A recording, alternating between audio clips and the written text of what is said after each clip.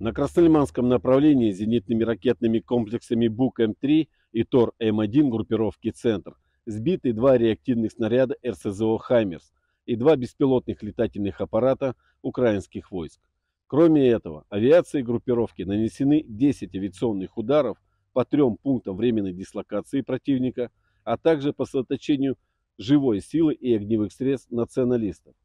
На Торском участке и в районе Серебрянского лесничества подразделения на технике 63 и 42 механизированных бригад ВСУ предприняли попытки атаки позиций российских войск. В результате боевой работы подразделений артиллерии группировки «Центр» уничтожены боевая бронированная машина и три пикапа. Личный состав противника понес значительные потери.